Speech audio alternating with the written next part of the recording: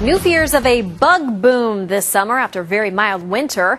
Right now, the world population is about 7 billion people. There are an estimated 10 quintillion insects in the world.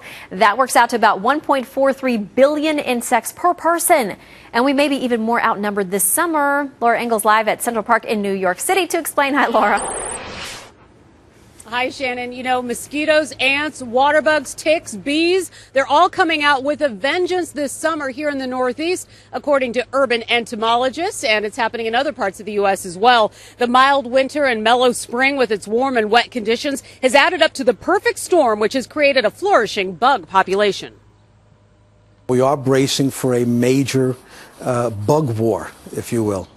It all depends on how the summer is. If the summer is really hot, uh, and there's a lot of moisture, like there has been the last month or so, the, the populations of insects are going to be out of control.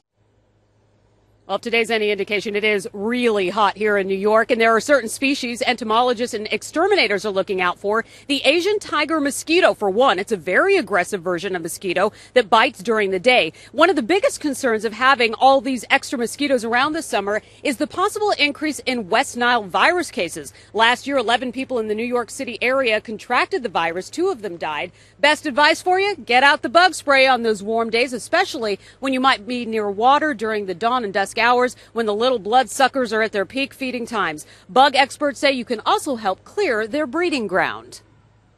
It's important to try to get rid of any kind of standing water, particularly after a rain. Get rid of any buckets, bird baths, anything that's picked up water, uh, because these mosquitoes can breed in a paper cup, even a bottle cap. And ticks are back as well with big numbers. And Shannon, I got you one of these too. These are going to be our best weapons for defense this summer. I like it. They're fun too. I like the neon color. Laura, thank you very much. Thanks, Shannon.